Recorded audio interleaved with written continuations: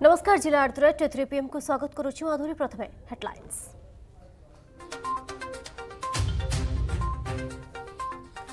दुई मासरे स्कूल खोलिବାକୁ ନିଷ୍ପତ୍ତି ନିଅ ହାଇକୋର୍ଟରେ ସ୍କୁଲ ଖୋଲିବା ମାମଲାର ଶୁଣାଣି ରାୟରେ